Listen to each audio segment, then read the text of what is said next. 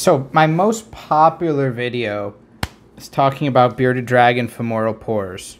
Um, and that's probably because everyone, you know, who has a bearded dragon has seen these pores and people like things and they like seeing things get popped. But I haven't popped them on video because it's painful and it's hard to film. But I did tell you guys that the next time Mongo has one that I think is pretty easy to pop out, I will show you how to pop it and I'll show you how to squeeze that oil out. And guys, it is disgusting. So just know what you're getting into. But bearded dragons are not the only lizard that has femoral pores. In fact, leopard geckos have femoral pores. Males, obviously, again, just like the bearded dragon, males only. So I have Orion out here, who is just crawling around. And guys, this is also a great way to help sex your leopard gecko if you're really unsure.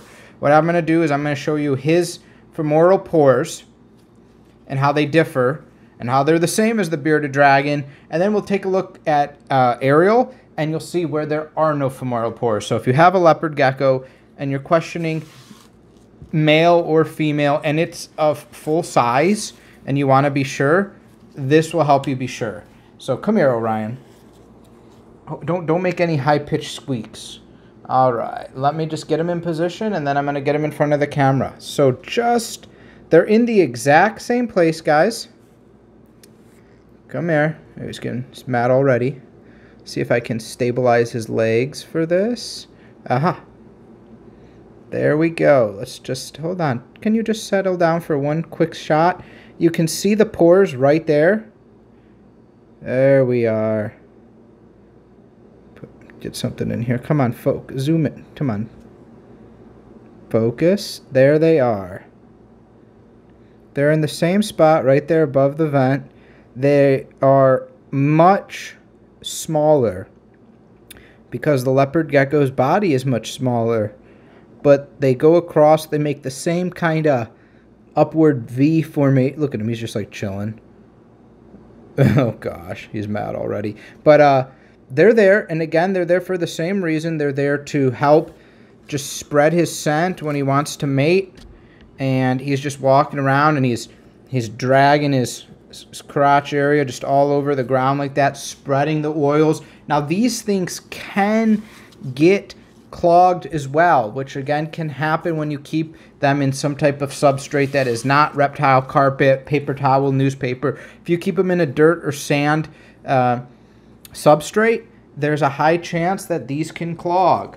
And that's what will happen. And even his, his are, are really good. Now, bearded dragons don't normally get clogged femoral pores on the males if their habitat is set up right because unlike I'm sorry, leopard geckos I mean, bearded dragons do get them because bearded dragons have to be in a very dry environment whereas with leopard geckos you'll have a humid hide so there'll be areas that will prevent dry skin, it will prevent uh, stuck shed, it will help them shed much quicker so you don't get a layer of shed that forms over the pore, keeping the pore impacted like in a bearded dragon. In a leopard gecko, these things are free to help go all the time. So they normally never have problems. So you saw his area and you know what a male looks like. Again, just to refresh before I switch before I switch Ariel out. Come here. Oh, he's doing an alligator death roll. Well, if I do this to you, Really? There we go again. There's that one quick shot again. That's the male area with all the femoral pores. Now let's look at a female leopard gecko. Okay, so here's Ariel. And again, anyone who watches the blind leopard gecko video series of when I first got her and she was just pencil thin as the tail and they want to know, hi, how is she doing? Uh, you know, updates. Guys, she's doing great. If you watch the other videos, you can see her. Her eyes are open, she can see, but this isn't what we're here for. We're here to look at where her pores would be. All right. Let's take a peek. Hi. Come here. Now, she is much more tame to being held. Just because, you know, when she was like on death's door, I had to hold her all the time. She is also the one that will make high pitched squeaks. um, very high pitch if she does it. So you, we're just going to take a quick peek, and that's where you would identify a female because again, right above the vent, you don't have that formation. You don't have uh, any femoral pores because she's not a male.